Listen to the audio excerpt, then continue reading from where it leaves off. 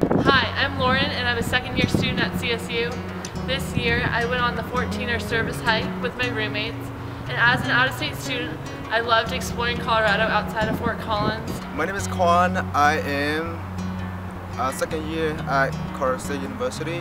On alternate spring break I was a cabin leader for fifth graders and I was really excited to be around kids and then we got to I learned how to face paint and we went on a night hike and it was really amazing. And I want to thank Year 2 for giving me the opportunity to be a part of this, this team. My name is Luke. I'm a second year student here at CSU and I attended the rock climbing trip for the Year 2 at CSU program.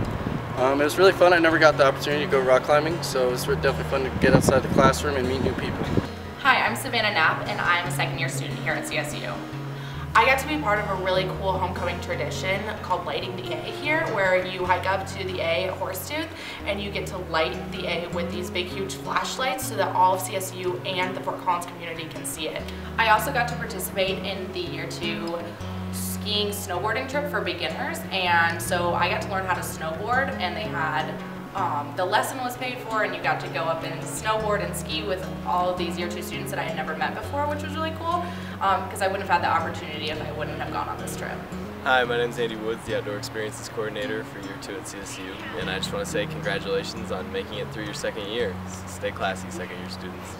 Hi everyone, I'm Katie and I'm your Academic and Career Development Coordinator, and I just wanted to congratulate you on completing your second year here at CSU. Hi, I'm Juliet. And I'm Corey. We are the site leaders for the Year 2 Alt Break trip. And we just wanted to say, congratulations on making it to your second year.